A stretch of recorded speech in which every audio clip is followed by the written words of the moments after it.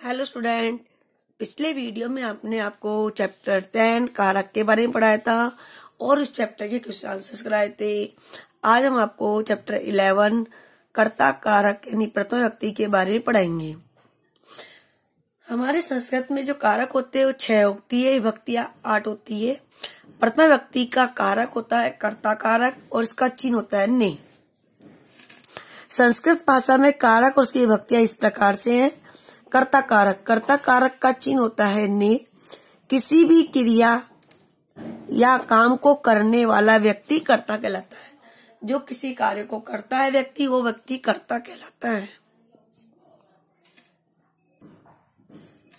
किसी भी क्रिया या काम को करने वाला व्यक्ति कर्ता कहलाता है और कर्ता कारक में प्रथम व्यक्ति का प्रयोग किया जाता है। हमारे संस्कृत वचन तीन होते एक वचन द्विवचन और बहुवचन।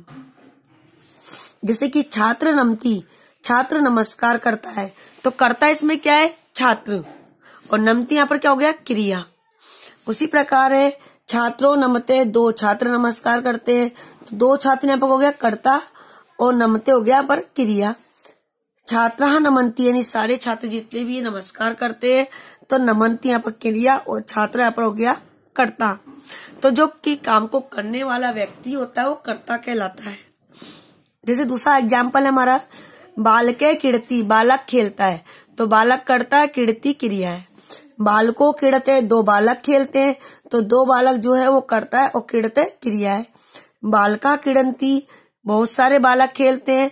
तो बालका यहाँ पर करता हो गया, किड़ंती यहाँ पर क्रिया हो गया। इसी प्रकार अगला एग्ज़ाम्पल है हमारा बालिका पढ़ती बालिका पढ़ती है, एक बालिका पढ़ती है, एक बालिका पढ़ती है।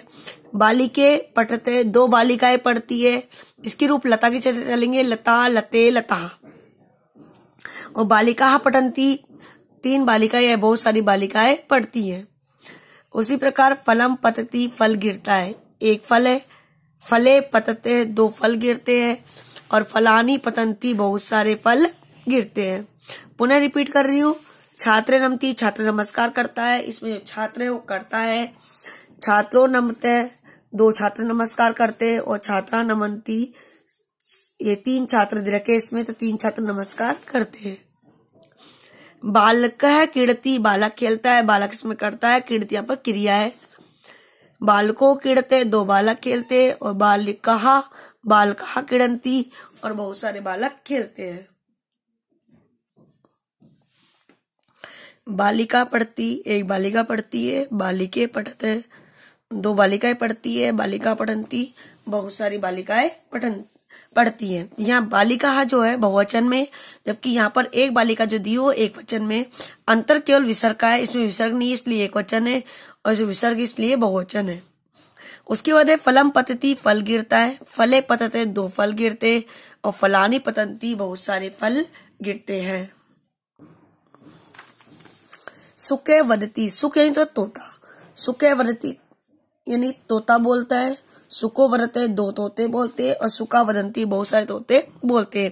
तो यहाँ पर जो सुख जो वर्ड है, ये करता है, और वदती वरते वदंती, यहाँ पर यहाँ पर क्या है? क्रिया है। तुम हँसी तुम हँसते हो, युवाम हसत, तुम दोनों हँसते हो, युयम हसत, तुम सब हँसते हो। तो तुम युवाम युयम, ये तीनों यहाँ पर क्या है? करता है। अहम लिखा में मैं लिखता हूँ, आवाम लिखा हुए हम दोनों लिखते हैं, वयम लिखा में हम सब लिखते हैं। तो पर अहम, आवाम, वयम, ये तीनों यहाँ पर क्या है? करता है। पुनः रिपीट कर रही हूँ। सुखवत्ती तोता बोलता है सुखो वरत दो तोते बोलते हैं, और सुखा वदंती बहुत सारे तोते बोलते हैं। तुम हँसी, तुम हँसते हो, युवाम हसत, तुम दोनों हँसते हो, युयम हसत, तुम सब हँसते हो। अहम लिखा मैं लिखता हूँ। आवाम लिखा में हम दोनों लिखते हैं और वयम लिखा में हम सब लिखते हैं। तो कर्ता किसे कहते हैं? कर्ता वे होते हैं जो किसी काम को करने वाला व्यक्ति कर्ता कहलाता है। अब हम पढ़ेंगे वर्ड मीनिंग छात्र छात्र मतलब एक छात्र, छात्रों मतलब दो छात्र, छात्रा मतलब अनेक छात्र। सुको मतलब दो तोते, बालिके मतलब दो बालिकाएँ, और बालको मतलब दो लड़के। युवा मतलब तुम दोनों, आ मतलब हम दोनों। तो हमारा ये चैप्टर कंप्लीट हुआ तो आपको इस वर्ड के, इस जो चैप्टर है, इसके वर्ड मीनिंग और इसका हिंदी अनुवाद। वर्ड मीनिंग भी और हिंदी अनुवाद भी आपको स्वयं अपनी फेयर कॉप में करना है। कल हम इसके क्वेश्चन आंसर्स पढ़ेंगे। Thank you